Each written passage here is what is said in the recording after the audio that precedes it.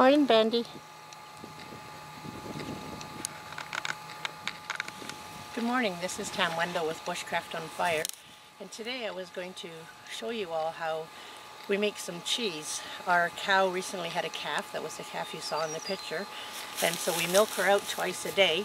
So what we're going to do today is show you on milking the cow and making some different cheese. So we'll be back with you in a minute while we start milking. The first thing we do is we give her udder a real good wash and then dry it. And after we dry it, we'll just get a couple squirts out of each teat to make sure everything's good and clean. Well, it's looking all good and clean, so time to get milking. As you can see, she's good and full of milk. I'll turn the bucket here. Then we get anywhere from one and a half to three gallons per milking, depending on how much the calf took out of her. We only milk her out twice a day and the calf gets the rest of her. So we'll show you how we go from this fresh milk into some cheese. So we'll see you in the kitchen in a bit. When we take the milk in, what we do is strain it through a cloth just in case a hair or something might have got into the milk. So we strain all the milk and then it immediately gets chilled in the refrigerator. Well, here we are back in the kitchen and I've got a pot with two gallons of milk on the stove. I just have it on low temperature. I'm getting the milk to, it was in the refrigerator, so I'm getting the milk to 55 degrees, which is really cool. I didn't want it too cold, but you don't want it above 55.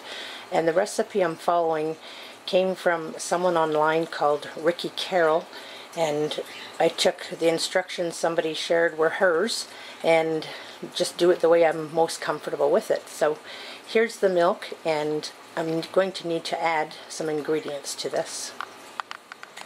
The first ingredient we're going to be adding is citric acid. Now to two gallons of milk, you add two and a half level teaspoons of citric acid mixed in cool water. And I'm mixing it in, I already made it, so it's mixed, pre-mixed here in a half a cup of cool water. And the next ingredient I'll be adding is rennet. This is a, see here, liquid vegetable rennet. I ordered it online from a place called Leaners. And this I do a half a teaspoon in a quarter cup of cool water and you can see that sitting over here. So the first step now is to mix my citric acid into the milk. Okay, you pour the citric acid just in a thin stream. Kind of move it around the pot while you're doing it. And sort of turn the milk up like this. Kind of in an upward motion. Just make sure it's in there real good.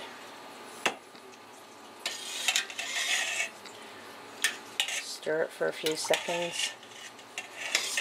Make sure it's distributed over through all the milk here. Now the next step is pretty much a waiting game. I never do my milk at fast temperatures. It's really easy to get your milk too hot. And so I still have it on low. I'm going to move it up to about 4 on the dial until it reaches 88 degrees and then I will add my rennet. So as soon as it's at 88, we'll show you the next step. We are at 88 degrees, so now in goes the rennet. I'm just sort of doing it in a roundabout motion, moving the rennet through.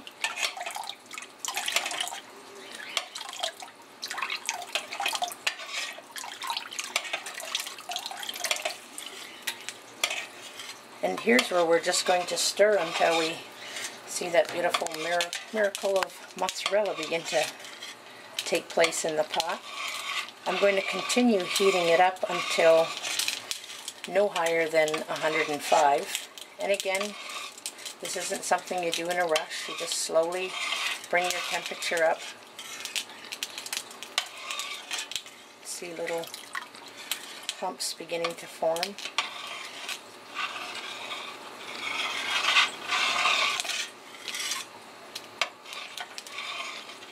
try to stay on camera. To show you this as it takes place.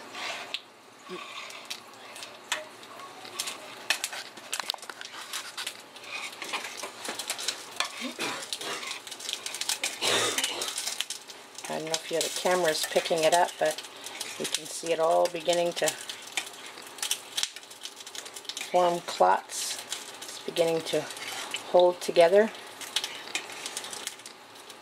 It's getting thicker and thicker as I stir.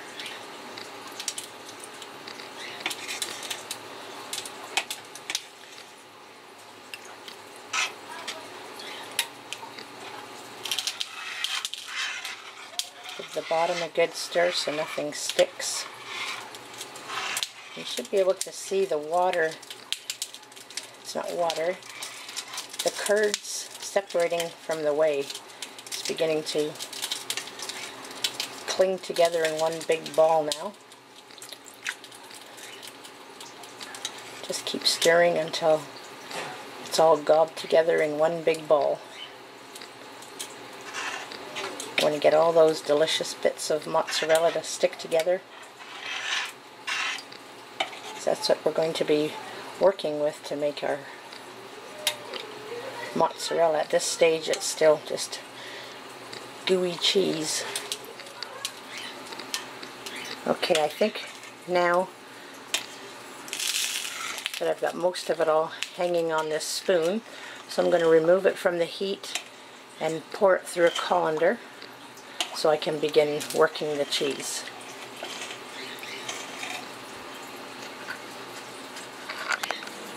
First thing I'm going to do is try to get as much of this cheese on my spoon. It's always a challenge.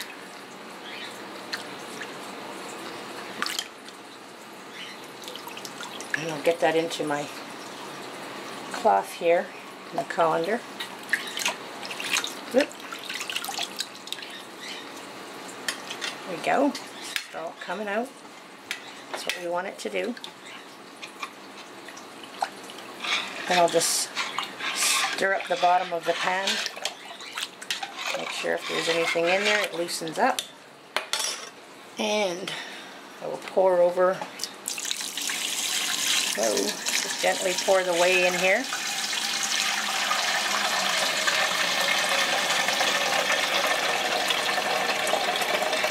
You can see a bit of mozzarella still in the bottom of the pan here as I pour. And like I said, you want to get all of the cheese you're working hard to make.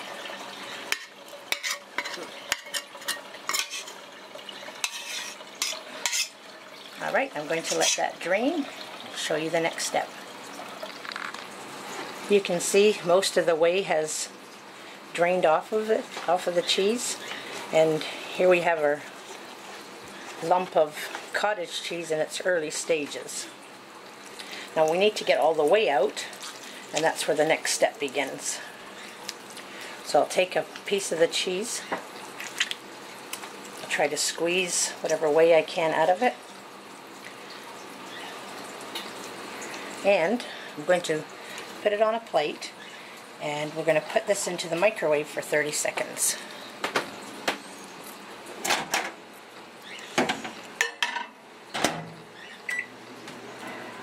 If you can see it through the microwave window, it's going to slowly melt and stretch across the plate.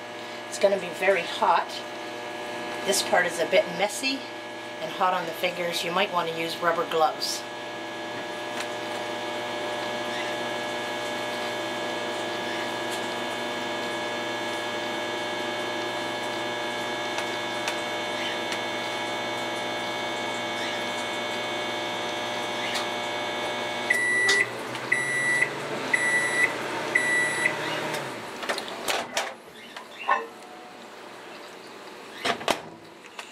Can see it sort of looks like a gooey mess. We're just starting here. What I like to do is to take a fork or a spoon, it's very hot, and begin to just let it stretch out. Extremely hot, so it's one of these ooh ooh ah things. And at the same time, as it cools, you're continuing to squeeze it. You can see it looks a lot smoother and I'm squeezing this whey out. You're trying to get all the moisture out at this stage.